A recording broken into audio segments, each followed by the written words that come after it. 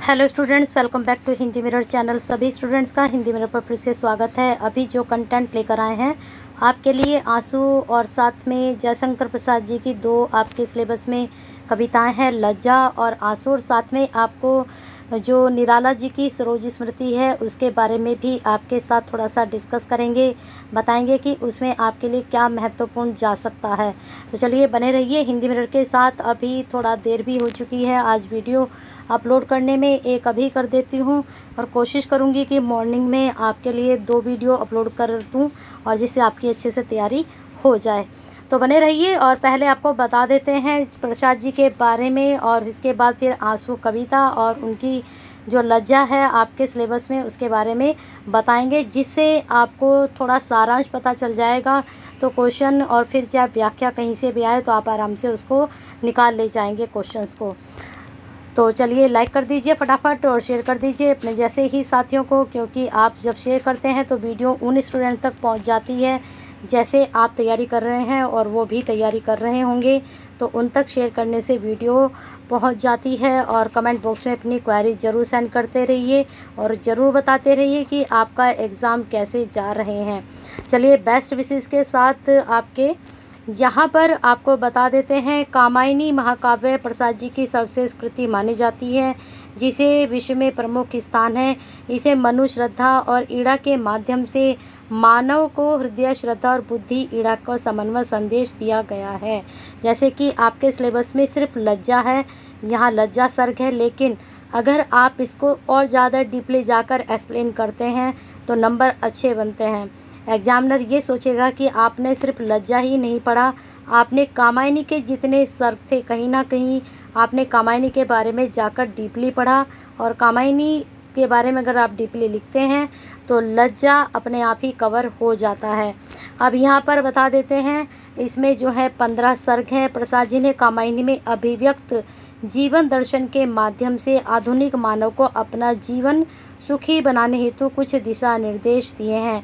जैसे कि हमारा चिंता से शुरू होते हैं, कोई काम, फिर हमारे अंदर आशा पैदा होती है और लास्ट में जब अगर हम धीरे धीरे अपने संघर्ष की ओर बढ़ते हैं और संघर्ष को हम कवर कर जाते हैं तो हमें कहीं ना कहीं लास्ट में आकर आनंद की प्राप्ति होती है तो यही उन्होंने कहा है।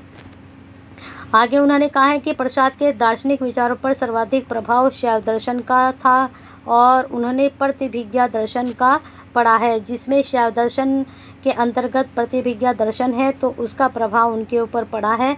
ये इतने महत्वपूर्ण पॉइंट हैं, अगर आप इनको एग्ज़ाम में डालते हैं तो कहीं ना कहीं आपको मैं बता रही हूँ कि ये महत्वपूर्ण पॉइंट डालने से आपका जो है मज़बूत हो जाएगा। आंसर कामायनी में प्रयुक्त अनेक परिभाषिक शब्द जैसे प्रतिभिज्ञा दर्शन के शब्द हैं।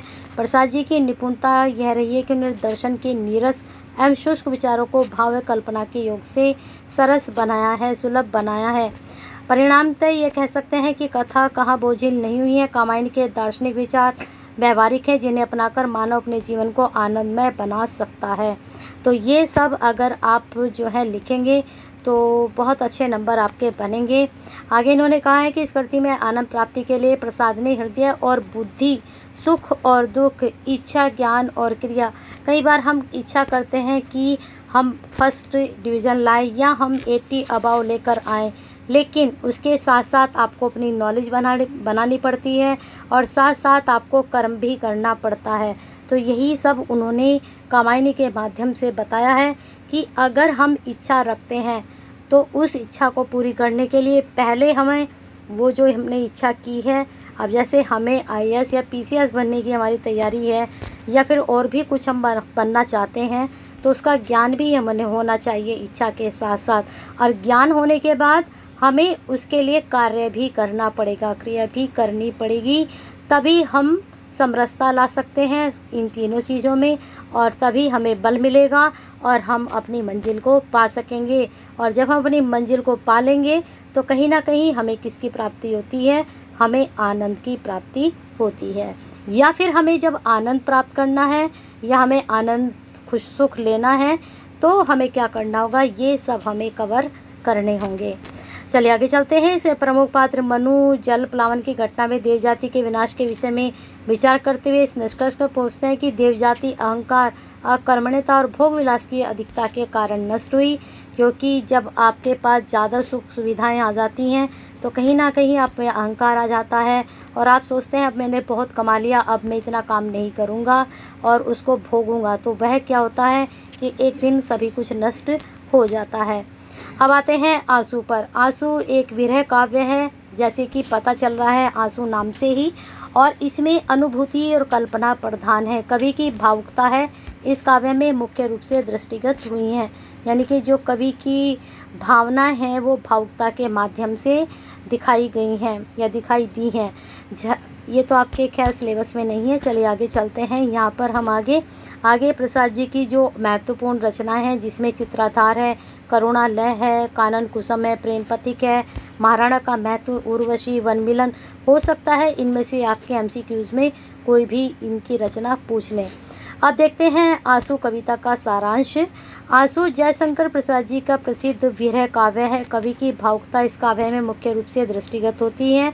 आँसू में प्रेम की स्मृति सत्यता के साथ अभिव्यक्त हुई है। जीवन में प्रत्येक अभिलाषा को पूरी करने के लिए हमें संघर्ष करना पड़ता है।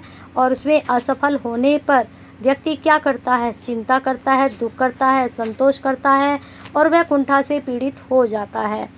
कुंठा मतलब कि आपके अंदर एक इच्छा रह जाती है कि मैं ये काम कर सकता था, लेकिन मैं अपनी किस्मत की वजह से पिछड़ गया। लेकिन अगर आप सोचेंगे, हो सकता है इससे अच्छा आपको और मिले और इससे अच्छा आपका और इंतज़ार कर रहा है तो अगर आप इस तरह के विचार रखेंगे तो आप कुंठाग्रस्त नहीं रहेंगे।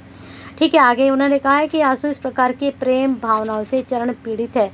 यानी कि हम, हमें जब दुख होता है, तब भी हम आँसू बहाते हैं, हमें असंतोष होता है, तब भी आँसू बहाते हैं।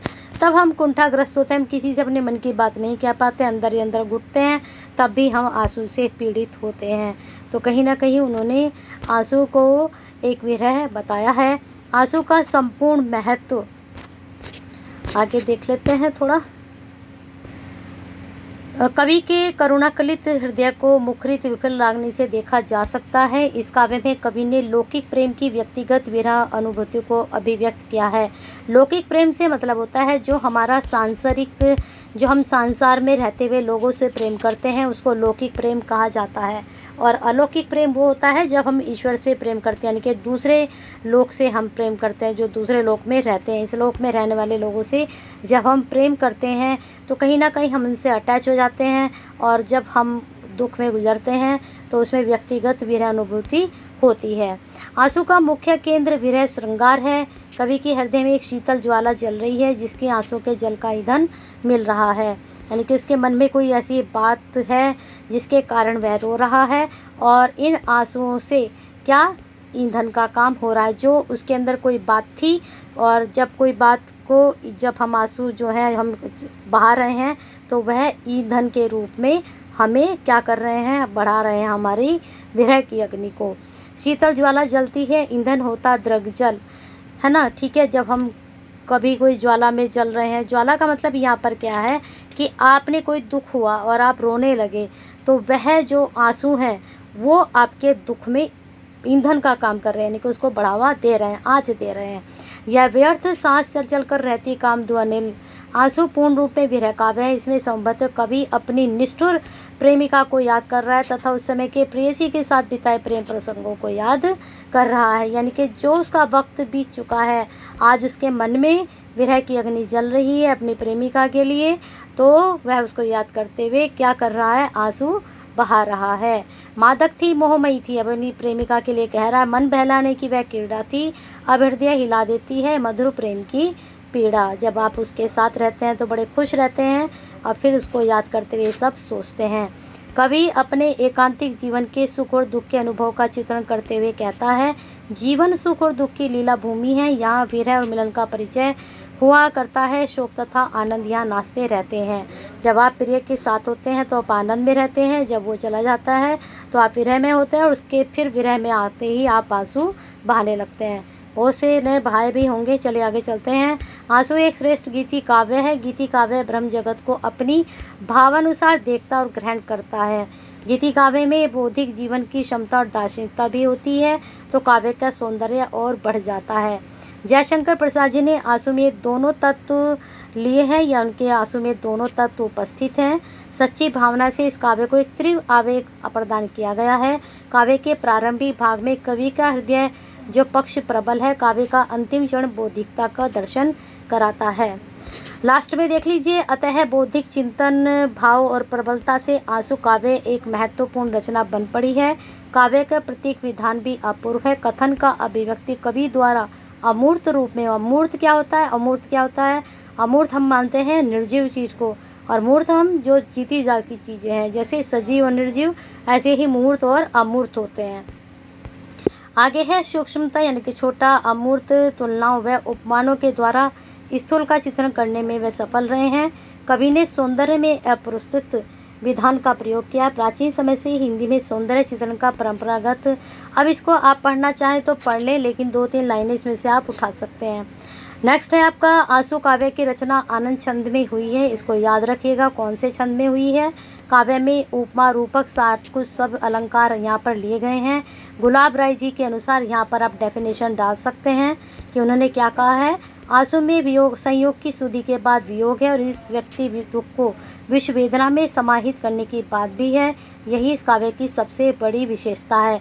संयोग कब था? जब वह अपने प्रेमी या प्रेमिका के साथ रहते थे और उसके बाद जब वह चली जाती है तो वह उसको याद करते हैं। आप आँसू कविता पढ़िएगा, अगर आपके पास सैंपल पेपर है तो उसमें देखिएगा, पहले संयोग दिखाया गया है। उसके बाद वियोग दिखाया गया है। और संयोग में क्या क्या है? जब अपने प्रिय के साथ थे तो क्या क्या होता था? और जब वो वियोग में हैं तो वो आँसू बहा रहे हैं, उन्हें दुख प्राप्त हो गया। लेकिन कहीं ना कहीं अंत में उन्होंने कहा है कि शायद यही मुक्ति है। निष्कर्ष में आप क्या देख सकते हैं? आँसू प्रसाद जी के लौकिक प्रेम को अभिव्यक्त करने वाली कैसी करती है, जिसमें प्रसाद जी ने प्रिय के प्रेम पर विश्वास किया और उसकी ओर से प्रवचन प्रवंचना प्राप्त होने पर भी कवि ने आँसू काव्य के माध्यम से उसकी स्मृति में ही आँसू बहाए हैं। वो उसको दुख देकर चली गई, तब भी उन्होंने इतनी अच्छी कविता उसके लिए लिखी और बहुत अच्छी कविता है, उसको आप पढ़िए। चलिए, अब आगे थोड़ा सा आपको सरोज स्मृति के बारे में बता देते हैं। चलिए, सरोज स्मृति तो नहीं बता रहे अभी अभी आपको लज्जा सर्ग के बारे में बता देते हैं, सारांश इसका। चांदनी रात है। मैंने अभी आपको कामायनी के बारे में बहुत कुछ बताया था कि वहाँ पंद्रह सर्ग हैं और उन्होंने जो है शैव दर्शन से वो प्रभावित थे। वहाँ से उन्होंने प्रतिज्ञा दर्शन लिया। तो ये सब भी आप सब कुछ वहाँ पर लिखना अपने एग्ज़ाम में। अब अच्छे से नंबर आएँगे। अब आते हैं लज्जा सर्ग पर। अब लज्जा सर्ग आपको बता ही दिया था कौन से नंबर पर आता है। ये भी याद याद रखिएगा, क्योंकि पंद्रह सर्ग में लज्जा कौन से नंबर पे, ये भी आपको याद होना चाहिए। फिर इसके बाद थोड़ा ब्लर है, ध्यान से इसको जूम करके देखेंगे तो दिखाई दे ही जाएगा।